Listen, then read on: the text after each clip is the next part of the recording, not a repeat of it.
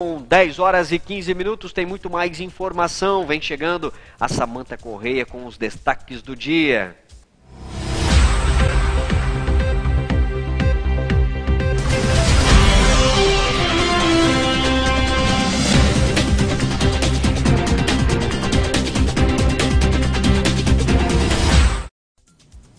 Bom dia, Júnior. Bom dia a todos que assistem o programa Primeiro Clique.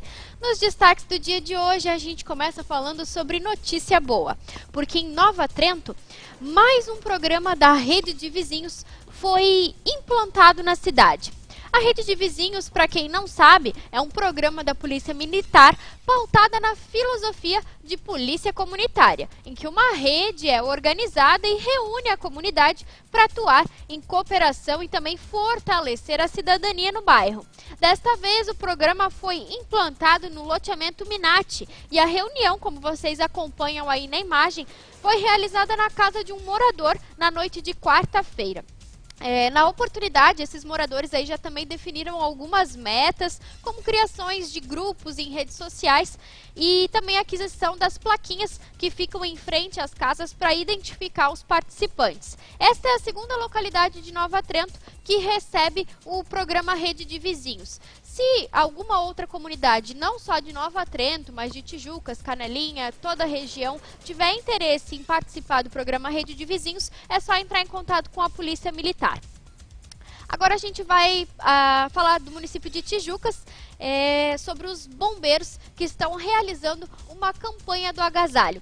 É, com a chegada do frio, a gente sabe que as temperaturas elas caem bastante aqui em todo o estado e uma ação movida pelo Amor ao Próximo movimentou todo o Corpo de Bombeiros Militar de Santa Catarina. A instituição está realizando uma campanha do agasalho em todo o estado. É, e o quartel aqui de Tijucas também aderiu a este projeto. As doações podem ser feitas nas dependências do quartel, que fica na rua Coronel Conceição, e elas vão ser recebidas até o dia 30 de junho. Podem ser doados, então, cobertores, roupas e calçados. No final da campanha, todo o material arrecadado vai ser entregue para a ação social do município, que vai fazer a distribuição dessas doações. Nós voltamos para Nova Trento para falar sobre uma ponte que vai ter o trânsito interrompido na cidade. É a ponte Ângelo Cipriani que vai ter o trânsito interrompido a partir de segunda-feira.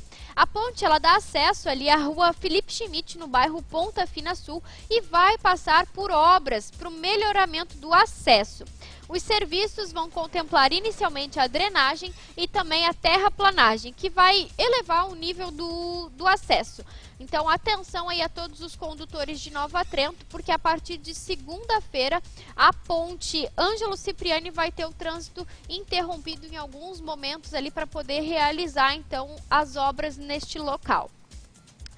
E em São João Batista a gente vai falar sobre dois criminosos armados que tentaram é, roubar um celular. Isso aconteceu na noite de quarta-feira, por volta das 8 horas, quando a polícia foi acionada ali na rua, na Avenida Egídio Manuel Cordeiro, bem no centro de São João Batista. Segundo a vítima relatou, ela estaria, ele, né, um jovem, estaria caminhando pela rua quando foi abordado por dois homens. Um deles estava armado e, e e falou, anunciou o roubo, né? E pediu o celular da vítima. Ele se assustou com a situação, fugiu, saiu correndo e ainda teria ouvido um disparo. Graças a Deus o disparo não atingiu a vítima, ele não sabe dizer se foi para cima ou se o, o criminoso errou o disparo. Graças a Deus ele não foi atingido, foi só o susto mesmo. A polícia militar foi acionada, esteve no local realizou rondas ali pela região, mas infelizmente os autores não foram localizados. Eu quero aproveitar essa notícia para fazer um alerta aos nossos internautas, porque a gente vive uma vida tão conectada às redes sociais que não se dá conta do risco que corre né, nas ruas quando está mexendo no celular, caminhando na rua, realmente pode se tornar alvo de criminosos por estar tá com o celular na mão. Então é importante tomar muito cuidado na rua, procurar andar com o celular no bolso, na bolsa, né? não usar o celular em mãos para não chamar a atenção dos criminosos. E em Tijucas, uma cachorrinha fugiu de sua residência hoje pela manhã. Acho que a gente tem imagem dela aí. É a, identificada como Lara. Ela fugiu por volta das 8 horas da manhã ali no bairro Praça. É, ela é da raça Shih Tzu e tem aproximadamente um ano e meio. Então, se alguém souber o paradeiro da Lara, se alguém vir a Lara por aí, por favor, entre em contato com a família. O telefone é o 99632 3258. 99632 3258. Então essa aí é a Lara. Se alguém souber o paradeiro da Lara, por favor, entre em contato com a família. Eles estão desesperados ali procurando por ela. Até o momento, estes são os nossos destaques do dia. Para mais informações, acessem o portal do VIP Social na internet. Um bom dia a todos.